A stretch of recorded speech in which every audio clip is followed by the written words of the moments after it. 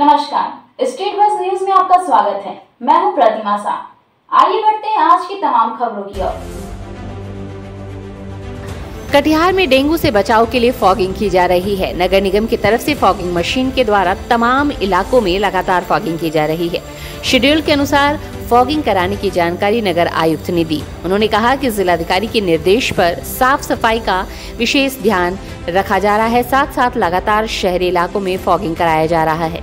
इस दौरान उन्होंने नगरवासियों से अपील करते हुए कहा कि डेंगू से रोकथाम के लिए साफ़ सफ़ाई का ध्यान रखें।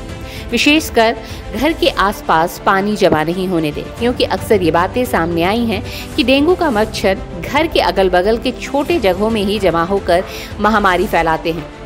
इसलिए साफ़ सफ़ाई के साथ पानी जमा नहीं होने देना बेहद ज़रूरी है। बता दें कि कटिहार में अब तक डेंगू के दो मामले सामने आ चुके हैं, जिसको लेकर प्रशासनिक महकमे में हड़कंप है।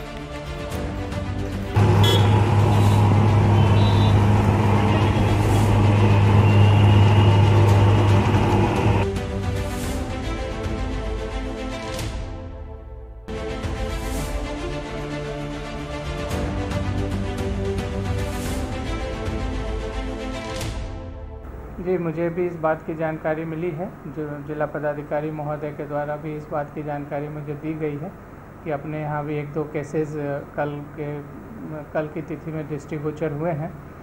और उसके लिए हम नगर प्रशासन की तरफ़ से साफ़ सफ़ाई की व्यवस्था की जा रही है। जगह जगह फॉगिंग कराया जा रहा है और हम लोग पूरी तरह से सचेस्ट रहेंगे। लोगों से भी अपील है कि अपने घरों के आसपास पानी वगैरह का जमावड़ा यदि पहले से कूलर वगैरह में पानी वगैरह जमा हुआ हो या ऐसा कुछ काफ़ी दिनों तक नहीं रहने दें क्योंकि इससे इसके डेंगू मच्छर के लार्वा को पनपने में बहुत ज़्यादा मदद मिलती है तो वो उनके सपोर्ट सिस्टम को जो भी रोकथाम की जा सकती है वो करने की कोशिश होनी चाहिए।